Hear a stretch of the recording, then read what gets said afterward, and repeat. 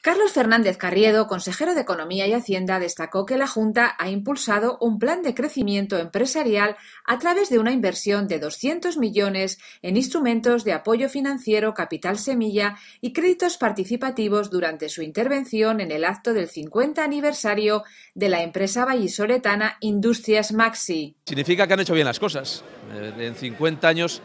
ha pasado de todo, ha habido momentos buenos y malos del mundo económico, pero ellos han demostrado tener fortaleza en los momentos difíciles y saber crecer y aprovechar también los momentos buenos. Y esto es así porque han hecho lo que tienen que hacer las empresas,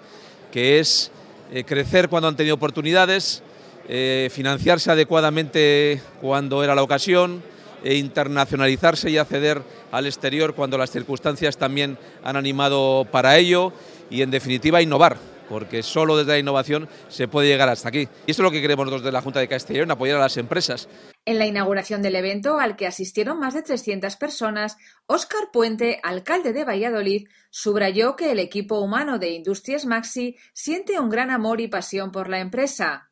Por su parte, José Félix Ovejero, presidente de la compañía, especializada en el desarrollo y fabricación de bienes de equipo, apuntó que algunas de las claves del éxito de Industrias Maxi son la apuesta por la innovación, la diversificación de sectores, la formación de trabajadores y establecer relaciones a largo plazo tanto con los clientes como con los proveedores.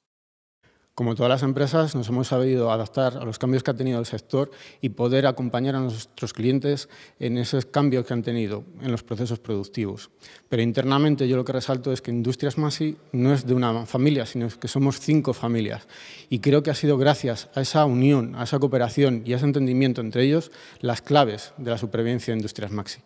El acto incluyó una mesa redonda en la que participaron Ginés Clemente, consejero delegado de Aciturria Aeronáutica, Maripaz Robina, presidenta y directora general de Michelin España-Portugal, Félix Moracho, presidente de Huercasa, y Ángel García, director general de Industrias Maxi, moderada por Alberto Cajigas, director de Castilla y León Económica. Además, se celebró un espectáculo de arena a cargo del artista Didi Rodán y se entregó una placa conmemorativa a cinco socios fundadores de Industrias Maxi.